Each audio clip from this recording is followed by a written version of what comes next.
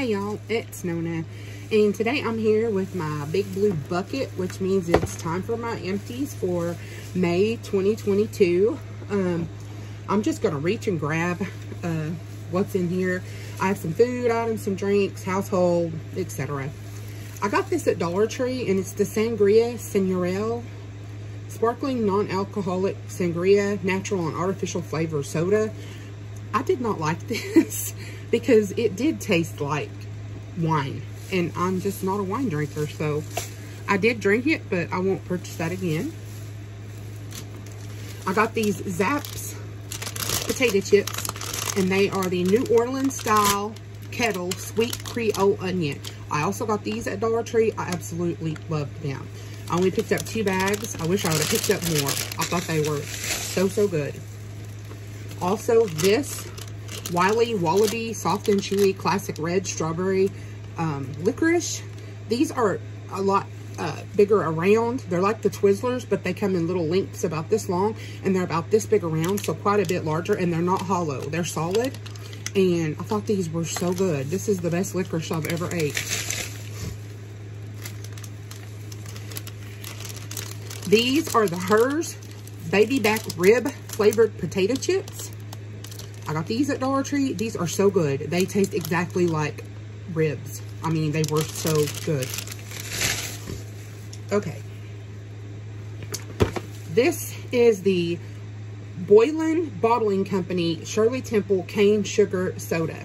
My friend Faye Blatcher held this on her channel and she did a taste test and she didn't care for it. And I had commented on her video that I loved Shirley Temple's. Uh, but this, she was right. This did not taste good. This this did not taste like a Shirley Temple to me. It really didn't have a lot of cherry flavor to it, and I, I didn't really care for it, so I would not repurchase that. These are the Corinthians flavored cream wafers in strawberry. These were delicious. Uh, all these food products so far have came from Dollar Tree. These were amazing. I found these in hazelnut, chocolate, and vanilla, but never strawberry, and these were so good. And you could definitely save this little tin and store stuff in it. So, you know, I like to get two first. I used this Splat Complete Kit Color Bleach and Peroxide in Purple Desire to dye my hair. Um, it worked fine, but uh, it seems like it's washing out. Um, so, uh, anyways, I, I, I don't care for my hair this color. Everyone else seems to like it. I guess the dye was okay. But like I said, uh, I, I don't have a lot of experience with dyeing my hair. This is only the second time I believe I've ever dyed my hair. And I just, I don't know. It seems like it's literally washing out. And I thought it was a permanent. Uh, I used up the Great Scents Odor Neutralizer in Breezy Meadows. This smelled really good. I did like this. We used up the Glade limited edition Happy Go Lilac. This smelled really good. It, it, smelled just like a lilac bush, and I really enjoyed that. This was the hair donut that I had in my homemade color switch. I finally retired this one and got a new one for it. You can see all the loose shadow in the bag. Um, so yeah, this is finally going bye-bye. I just rinsed out the tin and I'm going to put a new hair donut in it. Used up these um, Bolero Hydrating Cleansing Facial Wipes and Watermelon and Sweet Mint. I absolutely love these for swatches and, you know, wiping my hands, wiping off my desk, have you, whatever. I get those at Dollar Tree. I tried this cinnamon bun flavored Snickers.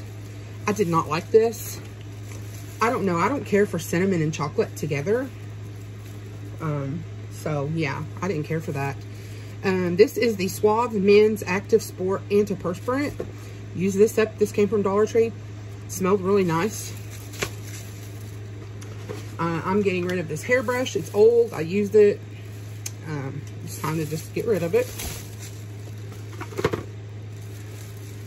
These are the B-Color LED lighted tweezers. This is the package and this is them. And um, there's a little button here on the front. You're supposed to be able to push it and it's supposed to light up. These never worked for me. Um, I didn't care for them at all. I don't recommend. Those came from Dollar Tree as well. I used a, a razor. This is a Bic Soleil. This is a good razor. These last me about a month. So, and then the last things are some lip balms. I did not have very, matter of fact, I'm not even sure if I had one lip, balm, lip balm uh, empty last month. Uh, but I made up for it this month. I had a bunch that I just finished off that were from last month as well. I have two of these. They are the Chap Ice Lip Balm Moisture SPF 15. Then I have one Burt's Bees in Mango. And five Chap Ice Lip Balm Original SPF 4. I really like these for a cheap lip balm. I prefer unscented, unflavored lip balms, and these are my favorite in that type of category. Um, if you're lucky, you can find these in a three-pack at Dollar Tree, but uh, mostly all I see nowadays is the two packs. But anyways, so I have eight lip balms this month. But like I said uh, last month, I had a bunch that were just almost done, and I just didn't take the time to dig them out last month and finish them. I was just distracted and busy, and I just, you know, so they got used up this month. That's why there were so many. Anyways, if you like these types of videos, please like, comment, share, and subscribe. Hit that bell so you're notified every time I upload a new video. That's all. Talk to you soon. Bye-bye.